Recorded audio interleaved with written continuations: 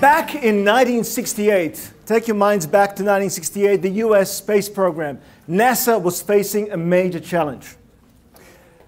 How do they recruit the most highly creative engineers for their space program? To help them with this task was a certain Dr. George Land. And Dr. George Land devised a series of tests to do just that, to find highly creative engineers to take the space race forward for the US. What he did next was remarkable.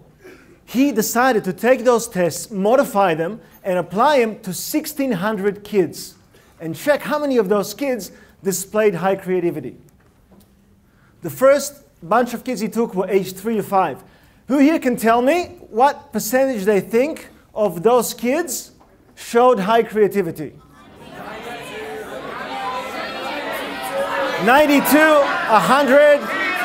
Okay, those of you who said 100, you're very close, 98%. Almost all of them. What is high creativity? I hear someone ask before I fall off the stage. Creativity has been defined as the ability to look at the same thing that everyone else is looking at, but see something different. And who said that? Anyone know? Nope. It was, a, it was a, the same guy who invented your vitamin C. So if any of you are taking vitamin C in the winter, you can thank Albert Szent-Györgyi, a Hungarian who fought with the partisans against the Nazis during World War II to defeat the Germans. And he invented vitamin C and came up with that definition. But let's go back to our survey. He then went back some years later and tested the same 1,600 kids at the age of, of 10 Anyone have any idea what percentage of those kids at the age of 10 showed high creativity? 60? So everyone says it goes down, right? Let's see by how much. Down to 30%. Wow. Wow. And guess what? It doesn't get better. At 15? Very close. We're down to 12. And by the time they became young adults, your age? Three? Who said three? Two? A mere 2%. Okay, that's pretty tragic. That's pretty tragic. So that got me thinking, what on earth happened here? And what we found, what they found, is remarkable. What he found, by the way, if any of you watched TED, strongly recommend this talk by George Land, The Failure of Success. What they found was remarkable. They found that non creative behavior is learned. You are all born creative individuals. Unfortunately, schools kind of managed to knock that a bit out of us. Um, but hey, no boo. I'm not saying don't quit school, stay at school, say no to drugs. We know all that. But, but, non creative behavior is learned. So that got me thinking. It got me thinking, what does that mean? How often do I take decisions that are predictable, that are non creative, that aren't really going to get me anywhere interesting? And to turn to an answer, I'd like to turn to someone you may recognize, a former president, Shimon Peres. Okay, this is what he said. Put apart your politics for, a, for one moment. Okay, this guy was the president. He said the following He said, When you have two alternatives, what you have to do is look for the third one. The third alternative is the one you haven't thought about yet, the one that doesn't yet exist. And the question is, how do we do that? This is one of the major points I want to address with you guys today. These are my parents. I was born in Russia, in Leningrad, to two Jewish Russian engineering parents. I mean, there's nothing totally remarkable. Anyone here with Russian background? Oh, wow, quite a few of you. Way to go. So, nothing remarkable about that. But what happened was that my father had a dream. His dream was to be the first Jewish cosmonaut, the first Jewish man in the Soviet Union to be in space. A kind of a Russian Yuri Gagarin, if you like. And what he did is apply for the fighter pilot program in the Soviet Union. And guess what? He got through the physicals, very difficult physicals. He got through the mentals, and he was just about to start the fighter pilot training course when he got a call from the commander of the training base. He said the following Comrade Itin, unfortunately, there has been a mistake. His accent was a bit better than mine. Unfortunately, there has been a mistake. We cannot accept it because you are Jewish. Okay. My mother, my mother was meant to receive the gold medal for a school for academic excellence. But there was a small problem. She was Jewish, and it was unheard of in Russia for a Jewish person to receive the gold medal. She had to be content with the silver medal instead. And my parents had a choice. They had two alternatives stay in Russia and live a, a fairly reasonably comfortable life with some official anti Semitism, or fight the system. Fight the system, face jail, face potential labor camps, even worse. My father, to his credit, discovered a third choice. And his third choice was to come to Israel, which we did in the early 70s. Only 50,000 Jews came to Israel compared to over a million uh, that came in the 1990s. And then to, make, to decide how to make life better in Israel, which I don't know if you know, is not always an easy country to, uh, to succeed in, but it definitely challenges you. He decided to create his own third alternative. And that alternative was to leave Israel for a better life in Australia. Yeah. Let's hear it up from the Aussies. Yeah. Okay, so what happened is the following. Oi, guys, we have very short time. Thank you. We have very short time, and I do want to get through it all. So, to cut a very long story short, I did a fairly typical path. I did my commerce law degree. Nothing creative or original about that. Just, uh, just a hard slog. And at the age of 30, I came to a decision. I had to come to a decision, decision. What do I do with my life? What sort of life do I want to live? How do I make my life interesting in Australia? Because my real dream was to do cinema, was to do performance, to do theater. And I decided to create my own third alternative. And that third alternative was to come back to Israel, which was very ironic because when I asked my father why he left Israel, he would always say it's to give us, his children, a better future. So both my sister and I came back here. Um, and as most Israelis who come back, I headed off to the uh, Lishkat Giyus, the Tel Shomer, the army uh, uh, office where you, uh, where you enlist. And I was told the following I was told, You are 30 years old. You're a little bit too old for the army, but you have two choices you can wait for a few months while we work out what to do with you, or you can get a, we'll give you a get out of army free card. So I thought about it for a little bit, and I thought, mm, I don't like those two choices. I'm going to create my own third alternative. So what I did is I created a position in the army that didn't exist. I volunteered in the Golani Brigade, which was my father's combat brigade when he was here, when he was a combat medic uh, in Golani. And I decided to be a DJ, an army DJ. You guys may laugh. Uh, I actually was doing the Jewish radio show in uh, 2SER, radio, uh, radio Eastern Suburbs for a while. I thought I can do this here. I was a radio DJ and I did a whole bunch of parties and dance parties and karaoke during 2002 Defensive Shield operation. If anyone here has seen Apocalypse Now, yeah? Remember that scene when they're doing a party in the middle of the fighting? It was totally surreal. It was something like that. The soldiers were coming in from the APCs, putting their weapons down and just dancing like crazy. You really had to, to be there to see it. I want to give you a little story about what I do at work. Okay, unfortunately not with these guys, but the story is an illustration of my role as innovation evangelist at Amdocs.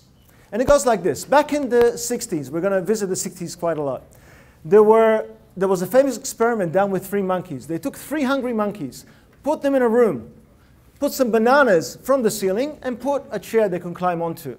Okay, the monkeys, I forgot to mention, were very hungry monkeys. They haven't fed them for a while. And what do you think the monkeys did? What would you do? Climb up the chair to get the bananas. That's what I would do.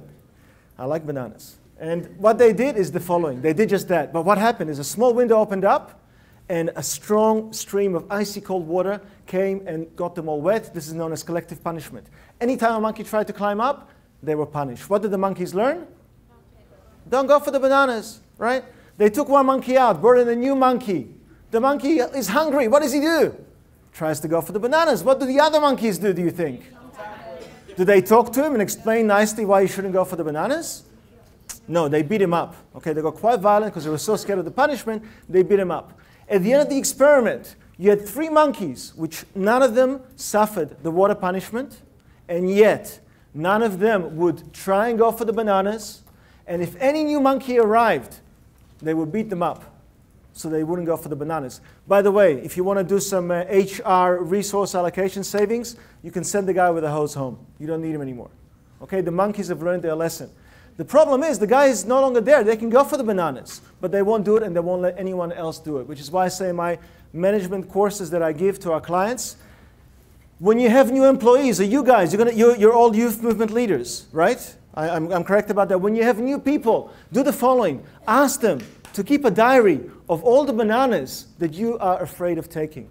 Ask them to keep a diary for the next few weeks of all the things that you have gotten used to that you're not allowed to do. They will give you amazing information. Interview them because if you don't do it in the first few weeks, it's going to be too late. Okay, a few words about Amdocs. Anyone here heard of Amdocs? Hands up. A few of you? Okay. Amdocs, biggest high-tech company, Israeli high-tech company. Okay, there are bigger ones, Google, uh, Facebook, Intel, they're all here as you know. We're not talking about them at the moment. We have offices in, over, in all six continents in over 60 countries, 23,000 employees spread around the world, about 5,000 of them here in Israel. You probably see lots of Amdocs cars driving around. Um, and my role as innovation evangelist in Amdocs is to create a culture of innovation, to help the people at Amdocs discover their own third alternative. Okay, it's not as easily, it's not as easily done as said. The main reason is that, and you will find this in your careers, the managers, especially middle managers, have a philosophy of not invented here. A philosophy of we've tried this before, it doesn't work. Your task, your challenge is not to listen to them. Your challenge is not to listen to the people who tell you those are the only alternatives you have, or we've done it before and it didn't work, or you shouldn't go for that. Your challenge is to challenge them. And this is, for the most part, my role in a fairly systematic way uh, and this is what I do. I had the privilege of working with a number of organizations, some of which I've presented here. Uh, one of the most interesting ones was Talpiot. I don't know if you heard of Talpiot. Uh, it's an army unit where they train them in all aspects of army life. Very, very nice guys and girls in there as well. Uh, if any of you are thinking of army, it's definitely a unit to go for. I work with the Ministry of Foreign Affairs to help their uh, ambassadors deal with the challenges. I don't know if you know, but uh, one of the biggest challenges for the Israeli foreign ministry, especially today in the days of BDS and the days of, of a lot of anti-Israeli uh, uh, delegitimization that's happening around the world, it's how to fight that and how to do it in very small budgets, almost non-existent budgets. These guys are real heroes, and they get paid peanuts. I have a very good friend in the foreign ministry. It just makes me cry what, uh, what, what they pay them, but they do God's work. They really do amazing work. So one of the things we did is we said, how would you solve those challenges if we took away all your money? If we took away most of your teams? And what you'll find, people, is that by putting constraints into your challenges, you can come up with the most creative and interesting alternatives to the problem.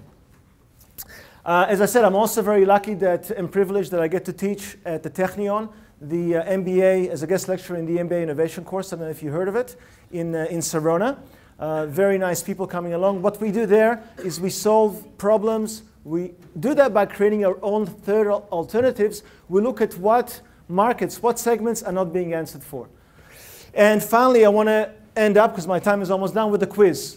Okay, now you are all the heads of an international railway company, let's say in China.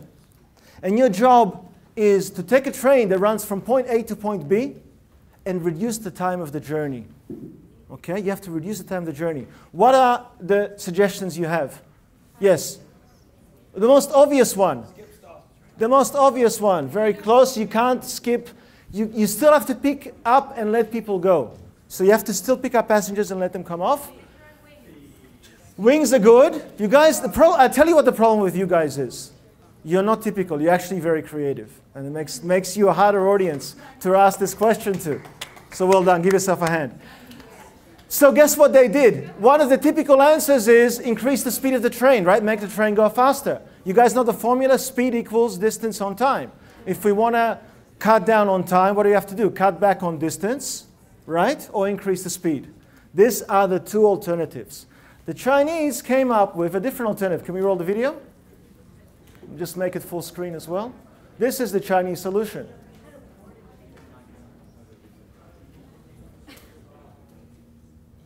The train, ladies and gentlemen, never stops. I can't do it again. You'll have to watch it from here. The train never stops. It picks up a, a carriage and let go of a carriage. It saves up all the stopping and accelerating trips. It kills the two alternatives. We can, we can stop it there. I, I, my, my Mandarin isn't good enough to translate. Okay, we have to uh, wrap up. So if I can get, get the presentation back, just give me one minute. So, guys, thank you very much. What I want to leave you with is the, the last slide. Just one more. Okay, I've got it. Uh, can I control it again? No. Lots if you haven't read Startup Nation, please do so. It's an amazing book. No Camels, run from right here in, in IDC. Great site for comp Israeli companies that found their own third alternative. And Geektime, also a fantastic site. So my final words to you are the following. Whenever people come to you and say, you have the following options, you have the following alternatives, what I say to you is, don't let them make the rules for you. Make up your own rules, create your own third alternative. Thank you very much.